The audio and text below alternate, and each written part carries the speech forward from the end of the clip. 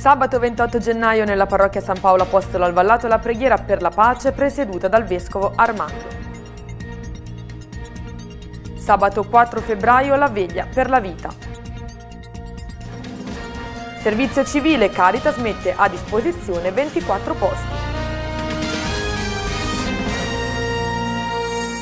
Bentrovati al nostro consueto appuntamento con il TG Web. Questa settimana sono diversi gli appuntamenti che vedranno riunita la nostra diocesi, a cominciare proprio da sabato 28 gennaio. Nella parrocchia di San Paolo Apostolo al Vallato alle ore 16.30 il Vescovo Armando presiederà la preghiera per la pace. Sarà presente anche una famiglia ucraina che porterà la propria testimonianza. Ricordiamo che le offerte raccolte saranno destinate ai progetti di Caritas diocesana rivolti agli ucraini accolti in diocesi.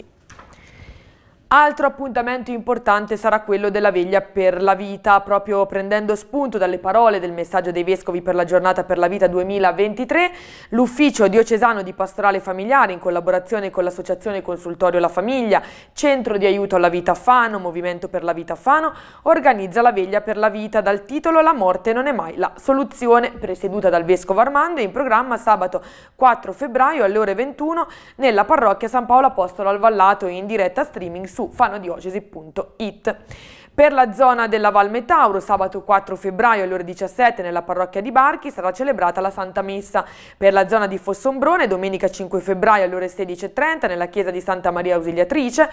Per la zona di Pergola, mer mercoledì 1 febbraio alle ore 21 in programma un momento di preghiera nella chiesa di Sant'Andrea al Corso. Per la zona di Cagni, venerdì 3 febbraio alle ore 21 nella chiesa di San Pietro del Monastero delle Benedettine.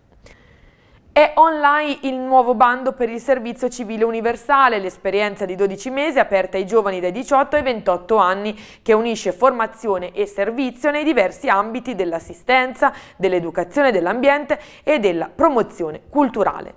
La Caritas diocesana ha a disposizione quest'anno 24 posti nei seguenti progetti.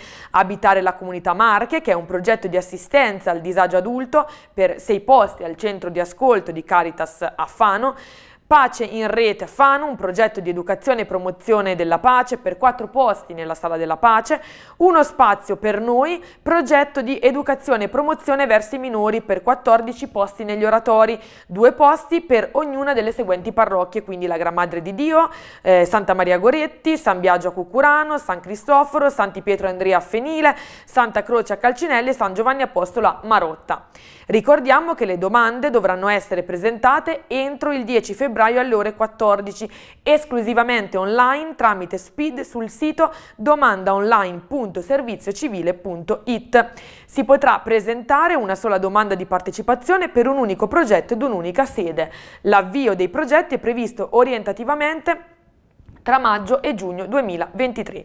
Per presentare i diversi progetti e le sedi disponibili, Caritas ha organizzato diversi momenti formativi venerdì 20 gennaio alle ore 11 e mercoledì 1 e 8 febbraio alle ore 16 negli uffici di Caritas Diocesana in via Fanella 93, giovedì 26 gennaio nel pomeriggio alla Mediateca Montanari di Fano dove saranno presentati i progetti di tutti gli enti che hanno posti nel comune di Fano.